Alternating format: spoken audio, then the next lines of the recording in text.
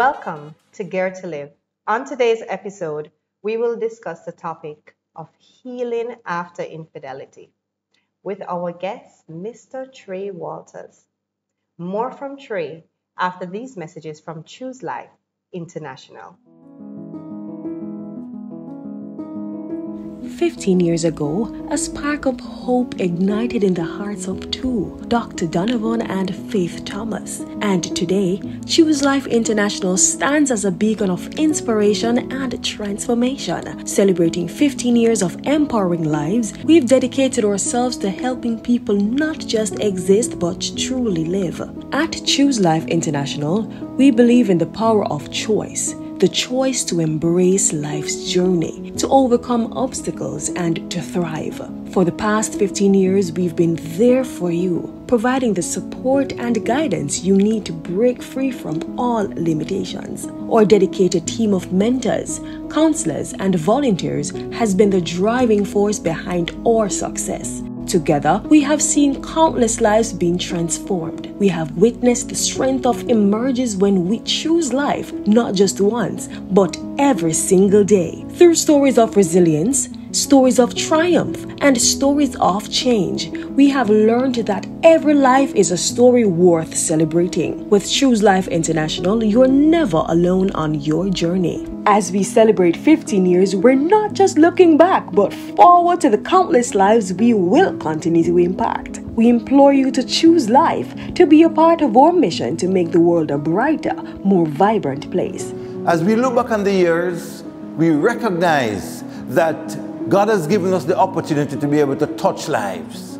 Yes, helping people live has been more than just a slogan. We can remember those days of the many people who were suicidal and have gotten help. When I met Dr. Thomas, I was, I believe, 14, around that age, and I was dealing with suicidal issues because of everything that was happening in my life at the time. But to be honest with you, I don't see CLI as therapy. I'd like to think of it as a program which helps you to live. I have seen lives change. I've seen hope restored. This is such a significant work. And I believe that what we are intending to do as we go global is going to be even more monumental. We are here for purpose every person, every person on the planet is here for purpose. And you may feel that you don't have any purpose, but I am here to tell you that you are born for purpose and you can live. You can choose life because there is a purpose for you to exist. And I want to encourage you to choose life. Here's the 15 years of transformation and many more to come. Welcome back. I am Freddi Zara Jackson. So, Mr. Trey Walters, welcome to Geared to Live. Thank you for having Ms. Jackson. It's a blessing to be here. God is good. Amen. Thank you so much for coming. You have written a book on a topic that is dear to my heart because marriage is something that God has, um, I guess, softened my heart to because the enemy is always out to attack families. Definitely. And it has been that way since the beginning. Yes. It has been that way since the beginning. So I have made it my mission by the help of God, by the grace of God, to speak life into marriages all over the world when I saw the topic of your book, How I Lost My Wife to a Warlock, it caught my attention. And I'm sure that it has caught a lot of persons' attention as well. Definitely. By the grace of God, I am happy that it's called How I Lost My Wife to a Warlock and not yes. How I Lost My Life. Because it came pretty much to that point. But also learning how to thrive after infidelity and choosing a better spouse. Yes. Is also what the book is about because I'm not just telling a story, but I'm trying to teach people how not to make the same mistakes and the same errors in their marriage. Yes, yes, important. But before we get into that, I want our audience to know a little bit about you. So I was thinking of starting with how did you become a Christian? I got a calling and I told God that I would never I will never ever become a Christian. Because Christians they act weird, they Yeah. act funny and I said, God, I will never do it. I will never join this journey that you're asking me to join. And Yes. life got very difficult after that. When before you go on, what age were you? I was about 21 at the time. Okay. Okay. So I was pretty much saying, hey, I want to live life to the Yes. fullest. And then lost job, lost friends, lost a lot. And I said, okay, God, let me just give this Christian thing a try. Yes. And that's pretty much where my journey started for me. Yes. No, at the time I was already married. So my partner was not saved mm. and did not get saved. Mm. So this is why we have to seek God first before we do anything else because Yes. it does tamper with your destiny. Yes. So for me, unfortunately or fortunately, going through life struggles mm-hmm. have always brought me closer to God. And uh, I feel like God has one of my has given me the purpose in life to encourage persons to just have a relationship with God and uh, to take it to another level. And a lot of times when it is that we're going through our struggles, because we don't see God right there, He's not this person in front of us, we tend to turn away from Him. You know? Well, the problem is we have a lot of people who are telling people about God and they don't know God. Mm. So a lot of times when God wants you to tell people about Him, He will mm-hmm. first have to reveal Himself to you. Mm-hmm. Now, the reason why getting close to God involves so much crushing is because you have to be humble to walk with God. Yes. Because He resists the proud. So He will allow you to go through a beating that when you come to Him, you come to Him humble Yes. and submitted. And it sounded like you, like myself, had gone through a beating. Oh, definitely, man. I've gotten my fair shares of whooping, but God has been very faithful. And with each crushing, I've gotten closer to Him. Yes. Yes. So it's a win for it's a win for me, definitely. yes. Yes. And it is this this the last beating I got pulled me straight to the altar, right at His feet. So Yes. Yes. is good. yes. So earlier we were talking about mentoring, and I know it's very dear to your heart. yes. What motivated you to go into mentorship? Okay, so why I went into mentorship is because I didn't want others to suffer unnecessarily how I suffered. Mm-hmm. So when I mentor men, especially, they're very dear to my heart. Why? Because for men, they don't really have anybody to talk to. Yes. And a lot of men want to do what's right, but they don't know what to do. Yes. And the sad reality of life is if you if you wanting to do the right thing will not get you the results you want from mm. doing the right thing. So I went into mentorship with the, the mission to help men, especially men who are married, because mm-hmm. a lot of men in marriages it's failing, they don't know what to do, they're suffering.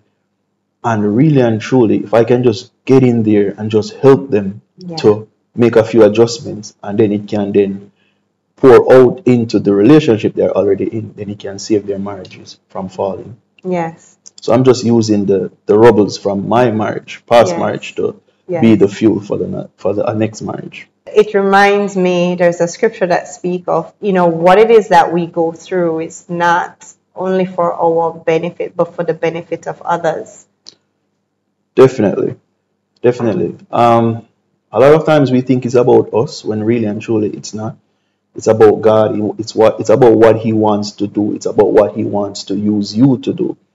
And the harsh reality is, at times God will allow one to sink that He can save a thousand. Yes. Yes. And it's an honor. It's an honor. It's an honor. Yes.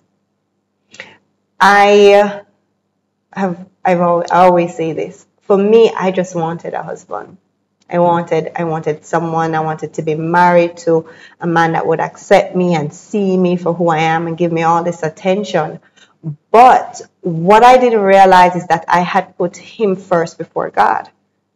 And God was not happy about that. Definitely. God always wants to be number one. hmm He's a jealous God. He always wants to be number one. And it is good to want to be married, But I really Yes. believe a lot of people idolize being married Yes. and they don't really look at the commitment, the consequences. They Mm. don't really think about it. Marriage to a lot of people is like a child asking for a puppy. They just want, oh, I want a puppy, mama. Mm-hmm. And you're, you're trying to explain to them you're going to have to feed this, you're going to have to care for this puppy, Mm-hmm. you're going to have to pick up after this puppy. And suddenly they're not as interested. Yes. So you don't want to idolize marriage. Sure, you should desire Yes. to be married, but for the right reasons. Because Yes. marriage is all about serving. Yes. Yes. And if you're not healed, that's not going to end well. Right.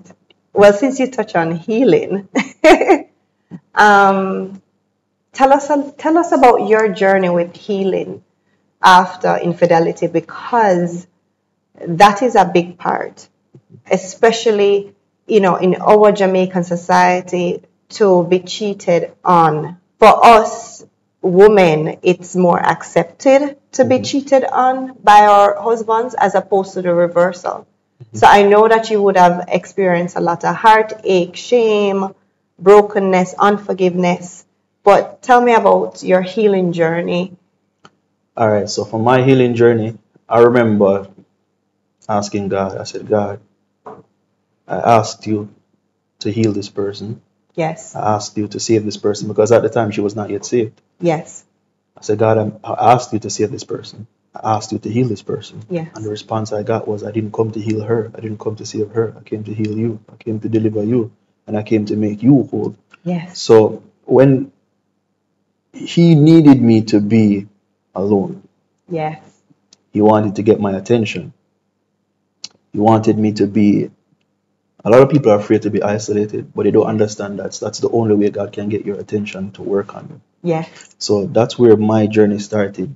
Just getting comfortable, being alone, Yeah. that the journey to healing can be started. Because one of the things he said to me was that one of the reasons why I even chose this person mm-hmm. to marry was because I wasn't even healed. I, I chose this spouse out of trauma.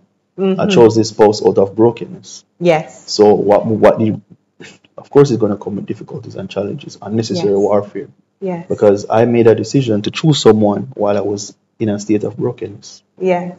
And a lot of persons, like when you look on, oh, you know, the mother um, went through this, the daughter went through this. And this is why healing is so important. Because if you're not healed, then you walk around with spiritually and in the physical sense of this brokenness. Mm-hmm. And it just keep on continuing, going on and on. Yes. You see, the first chapter of the book, it's called The Beginning of the End. Because guess what? Mm-hmm. Just by talking to someone and mm-hmm. seeing how damaged they are, I already know where the marriage is going. Yes. Because I've seen it before. It's like Yes. looking in a mirror. And I'm like, if you are this damaged now, going into this marriage, I can guarantee I know it's going to end. If you don't change, if you don't get counseling, if you don't get deliverance, if you don't get healing, Yeah. then we already know how this story is going to pan out. I'm not saying you're a bad person. yes. It's not what I'm saying. I'm just saying the state of mind you are in right now, your soul is broken. And your soul has a lot to do with the decisions that you make. It has a lot to do with the food you eat, the friends you keep, Yes. and in who you decide to get married to. Yes.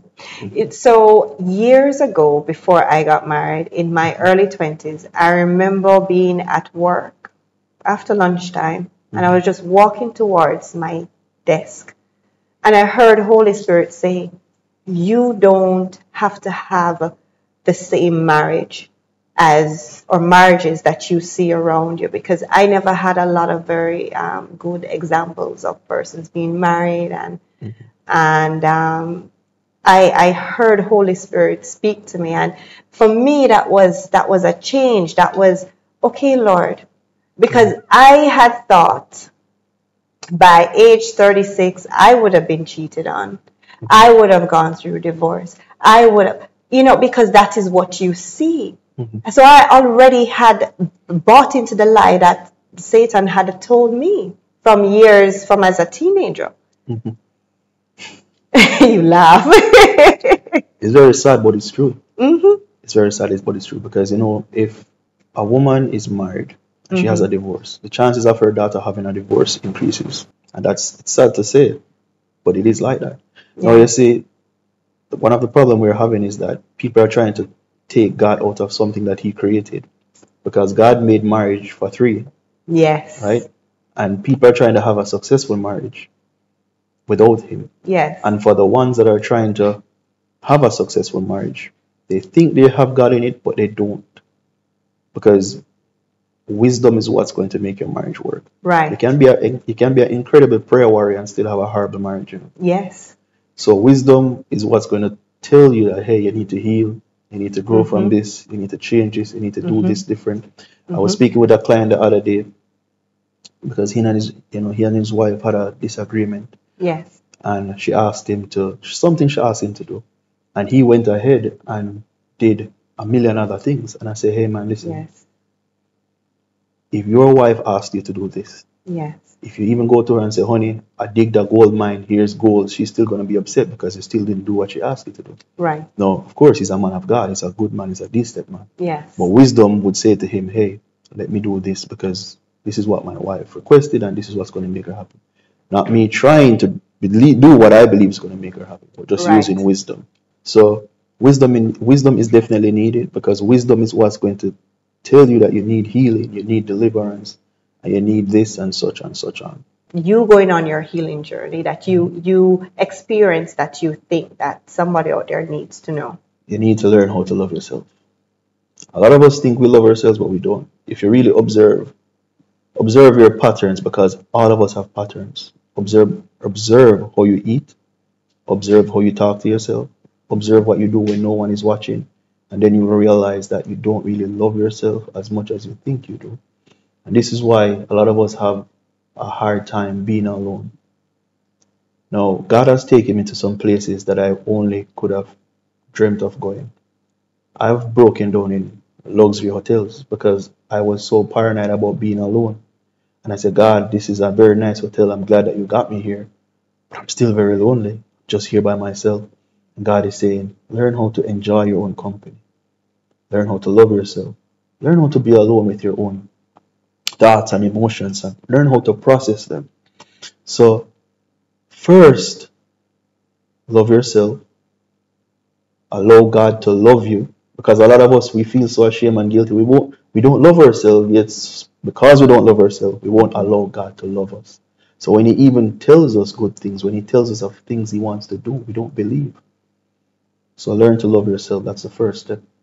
And then allow God to love you. Because once you allow God to love you, you will receive what He has for you. Amen. And I mean, you said earlier being isolated. A lot of um, persons in Scripture were isolated, and God worked on them. Yes. And there's power in being by yourself with Him. Yes. You know why a lot of people are having a hard time with relationships and marriages? Because they never took the time to be alone. Yes. So they're jumping from one failed relationship to the next to the next one that's going to fail because they believe that that person carries something that's going to make them whole. Yes. Only God can fix your soul. Only God can heal your soul. Yes. And that takes time. It's not a crash test course where it happens in a week or two. It takes time for God to really heal you. Yeah. And because some so many people don't like to be alone, they don't allow God to work on them and heal their soul. So they jump right into an next relationship that is bound to fail. And this is why we have people with three failed marriages, four failed marriages. And mm-hmm. if they if they've got married ten times, it would still fail because they have mm-hmm. still not yet healed and learned to deal with the trauma and all of that. There was something that you had said earlier when we were talking, and it's important for persons to be healed, especially those in leadership positions, those in the churches, because when God has called um, them to do a particular job, if they're not healed, you use a term, they're just going to bleed out all over. He's very sad, and God is sad at the fact that many ministers are they're doing more harm to the body of Christ than good. You see, because they're not healed, they tend to lash out. They deal with people very harshly because they're not healed. And I understand that the walk comes with a lot of betrayals, but you can't let those betrayals determine how you deal with everybody else. So, because they have not healed, because they have not been delivered, they're actually doing more harm to the body of Christ than good because they're bleeding over everyone.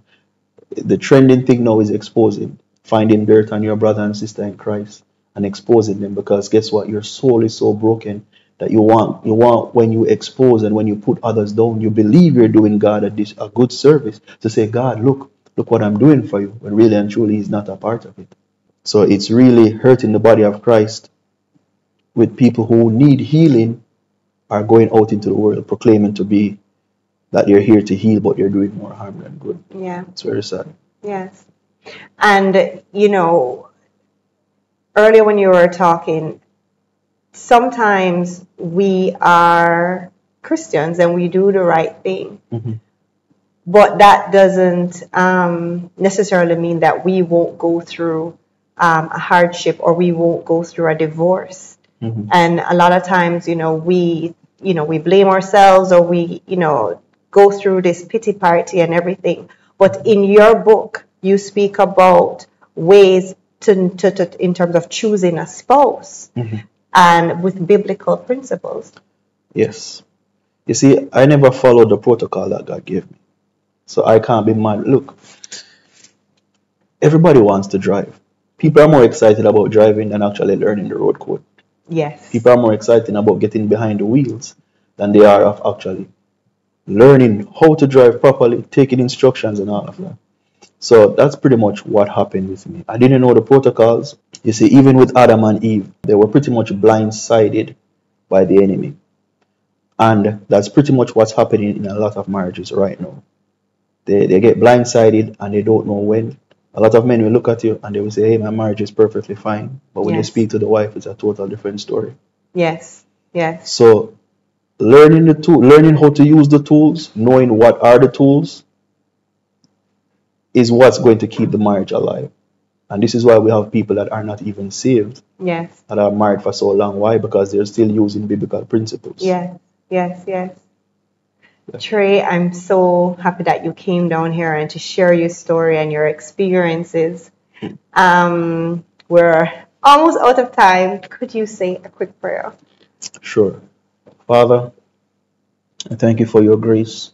I thank you for your mercy. And I thank you, mighty God, that there is nothing too hard for you to do, mighty God. For your word says, mighty God, that by your stripes we are healed. Father, I pray that each and every one that watches this, mighty God, help them to understand, mighty God, that we are man. We're made of flesh, mighty God. We do stumble, we do fall, but nevertheless, your word says the righteous man falleth seven times and gets back up at eight. So, Father, pick them up. Pick them up, mighty God, and set them straight on the straight path that you have destined for them, mighty God. In Jesus' name I pray. Amen. Amen. Amen. Thank you, Jesus. Thank you so much for sharing your story, sharing your book with us. And I know that many lives will be changed, many families will be even restored, and um, persons can have hope after infidelity.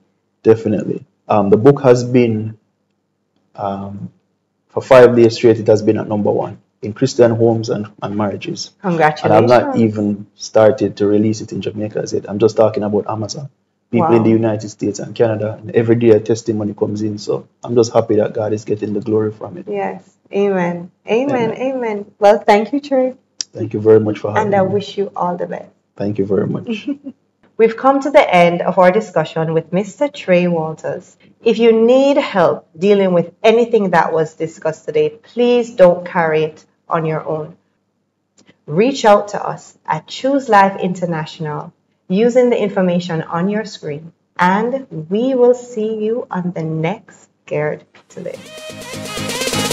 dancing.